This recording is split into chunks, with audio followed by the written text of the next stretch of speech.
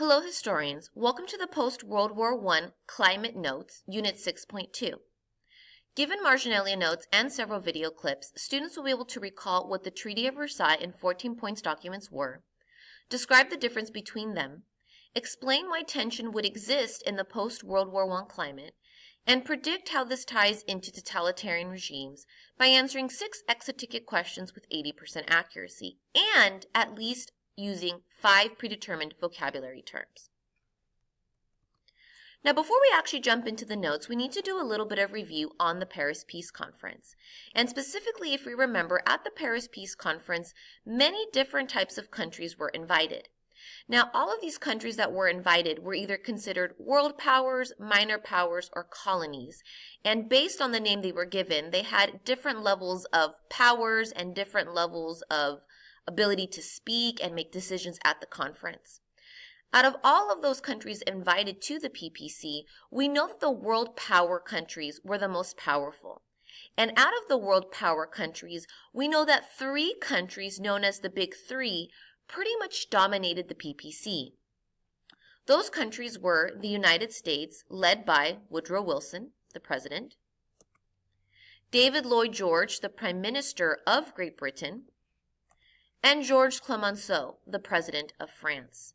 These three men are going to be the leaders of the big three countries that pretty much made most of the decisions at this Paris Peace Conference.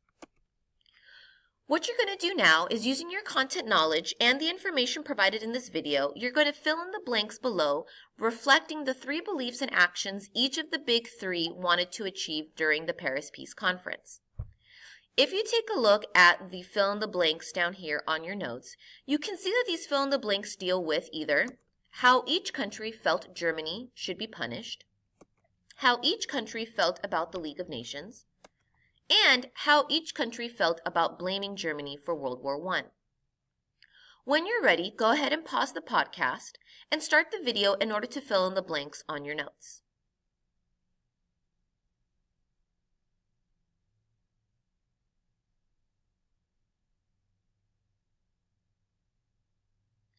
All right, let's go ahead and check our answers. When it came to punishing Germany, Woodrow Wilson, President of the United States, believed that Germany should not be punished. He recognized that by punishing Germany, the German people could become angry, the German people could become hateful, and an angry and hateful Germany could cause problems, possibly leading to another world war. This is something Woodrow Wilson wanted to avoid, which is why Woodrow Wilson strongly believed that the League of Nations needed to be created. If you don't remember, the League of Nations is basically Woodrow Wilson's pet project, a group of kind of referee peacekeeping countries who would come together to ensure fairness and equality for all countries in order to avoid war. Woodrow Wilson highly, highly supported and believed the League of Nations was necessary. When it came to blaming Germany for World War I, Woodrow Wilson recognized that Germany was not the only country involved in World War I and that it had been the bullet of a Serbian nationalist from the Black Hand that had killed the heir to the Austrian-Hungarian throne. Given that information, Woodrow Wilson did not believe that Germany should receive full blame for World War I. These beliefs were very different from those of David Lloyd George, the Prime Minister of Great Britain. David Lloyd George believed that Germany should in fact be punished, Germany should be punished because the British people needed and wanted to see Germany punished. The British people were upset that Germany had given Austria-Hungary a blank check. The British people were upset that Germany had invaded neutral Belgium, and therefore the British people believed that Germany did have to receive a punishment. David Lloyd George, their leader, was happy in ensuring Germany was punished. But David Lloyd George believed that the punishment should be a fair punishment, a punishment that fit the crime. And even though Germany was going to be punished, Germany should still be left economically strong enough to be able to take care of itself financially, to be able to trade with other countries, to be able to kind of pick itself up when it came to providing jobs and money and food and resources for its own people. When it came to the League of Nations, David Lloyd George was kind of like 50-50 on the League of Nations. He believed that the League of Nations was a good idea in creating fairness and equality, but he worried about how much power the League of Nations would take away from his own country. Because the League of Nations is asking for fairness and equality, that means that the League of Nations is asking for countries to stop practicing imperialism, and it's also asking for countries to stop practicing militarism. For Great Britain, imperialism and militarism is what, basically what has allowed Great Britain to be a strong, powerful, industrialized country. And David Lloyd George realizes that if his country has to stop practicing imperialism and militarism, his country is going to lose some of its power. And so David Lloyd George is kind of 50 50 about the League of Nations. He likes the fairness and equality idea, but does not like the fact that it could basically take away some of his country's power. When it comes to blaming Germany, David Lloyd George believes that Germany should receive some blame. Not all the blame, but some blame. Germany does have to be found somewhat guilty because it provided a blank check to Austria-Hungary and it also attacked neutral Belgium. Now, when it comes to France, we know that the leader Georges Clemenceau is what we would call the tiger. He's very angry about Germany having attacked uh, France with the Schlieffen Plan. This is not only the first time France was attacked, France had previously been attacked before that during the Franco-Prussian War. And so we know that Georges Clemenceau wants German blood. And because he wants German blood, he wants to see Germany severely punished. He wants Germany to have to pay reparations, which is payback money. He wants Germany demilitarized, which means Germany's military shrunk, Germany's military power taken away, and he wants to see Germany lose land. Georges Clemenceau also does not want the League of Nations. He believes that the League of Nations is basically just a group of dreamers. Fairness and equality sound nice, but in reality, fairness and equality never work. And so he believes the League of Nations is a waste of time. We don't need it. We need to punish Germany. We need to have strict rules. And that's the end of the question.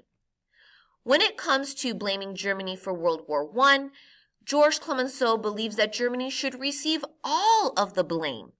Germany is going to be, according to Georges Clemenceau, Germany is going to be the reason why World War I started. Georges Clemenceau points out that if Germany had never given Austria-Hungary the blank check, Austria-Hungary would have never felt confident and Austria-Hungary would have never declared war on Serbia. If you take a look at each of these three countries and their different ideas on punishing Germany, the League of Nations, and blaming Germany for World War I, we can see that the United States is pretty much going to be the country that's kind of taking the nicer, more fair stance. France is the country that's taking the harsher, more strict, severe stance. And Great Britain's kind of like in between. So what was the outcome of the PPC? What was the outcome of this meeting, the Paris Peace Conference, where the Treaty of Versailles, the TOV, was written? Well, the Paris Peace Conference, like we mentioned uh, last unit, led to the creation of many peace treaties that officially ended World War I. Now, in this unit, Unit 6, on the rise of totalitarian regimes, we are still only going to focus on one of those treaties, and that treaty is the Treaty of Versailles known as the TOV. Now, after much debate, the TOV was signed by the PPC delegates, by the government representatives from the world powers. And what's important to notice is that this PPC meeting was not a very calm, collaborative, happy meeting. It was actually a meeting with a lot of intense arguing, a lot of intense fighting. Many different world powers, minor powers, colonial countries got up and left in the middle of the meeting. It was a very hot, debated meeting because not all of the delegates agreed on what the Treaty of Versailles should say. However, they did eventually come to an agreement and it was eventually signed. Now, one of the people who was particularly disappointed with what the Treaty of Versailles said was President Woodrow Wilson of the United States. Although U.S. President Woodrow Wilson wanted his entire 14 points document put into the TOV, this did not happen. Now, if you don't remember what the 14 points document was or what the 14 points document said, you might want to go back to the data analysis assignment we reviewed during the Venn diagram, or you might want to go back to your previous notes, Unit 5.11 from Unit 5. Now, even though he was disappointed that his entire 14 points document did not get put into the TOV, he was at least happy about one thing. And the one thing he was happy about was that he was able to get the League of Nations written into the Treaty of Versailles. Now, how he got this League of Nations written into the Treaty of Versailles was Woodrow Wilson compromised. When it came to the League of Nations, the British and the French leaders basically told Woodrow Wilson, your 14 point document is a list of a bunch of little fairy tale peace loving requirements that we are not going to agree to. Now, we will agree to allowing you to create the League of Nations, to creating this international peacekeeping organization. But if we agree to allow you to create this League of Nations, then you have to forget about all of the other 14 point bullet points.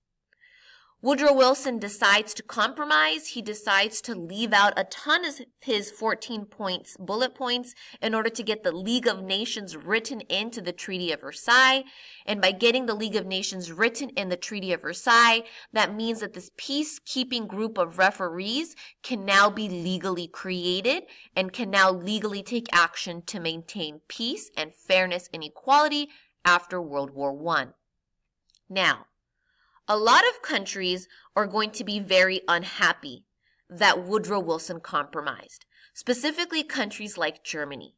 Countries like Germany were really hoping and relying that Woodrow Wilson would not compromise and that he would get all of his 14 point bullet points into the Treaty of Versailles, especially the parts of the 14 points that talked about not treating Germany harshly and not blaming Germany harshly. On the other hand, some of the countries at the PPC are going to be happy with this compromise. Some of the countries at the PPC, like the colonial countries, the victim countries like India and China, they were very happy Woodrow Wilson compromised because the League of Nations was basically going to ensure that these colonial countries eventually got their self-determination, meaning that they eventually got their freedom. Now, there are four major provisions, meaning four major sections in the Treaty of Versailles. The first one is the section that talks about the League of Nations, the section that talks about territorial losses, the section that talks about military restrictions, and the section that talks about the War Guilt Clause. We're going to now jump into looking at these four different provisions or sections of the Treaty of Versailles. Now, we know that the League of Nations is created. Woodrow Wilson compromises because he compromises. The other two countries, Great Britain and France, agreed to allow him to create this peacekeeping group. And this image does a really nice job of showing us just how excited Woodrow Wilson felt. He really felt that by creating this League of Nations peacekeeping group, he was offering to the world this great opportunity to avoid any future war. Now, specifically, the League of Nations is going to be a group that is created because of language written into the Treaty of Versailles. The delegates at the PPC agreed to create a League of Nations and thus wrote it into the Treaty of Versailles. This is the one thing Woodrow Wilson would not compromise. He stood his ground and he argued that the Treaty of Versailles had to have language creating the League of Nations.